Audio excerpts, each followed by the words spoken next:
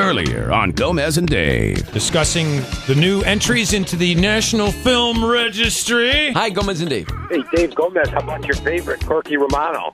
Corky oh. Romano. Is Corky Romano in there? Starring Chris Kattan? Yes. Yeah, yeah. We're waiting for number two to come out. That didn't come out right just the way you said that. Waiting for number two to come out. Oh, yeah. Gomez and Dave in the morning. Hi, this is Chris Kattan. Welcome to the Gomez and Dave Show.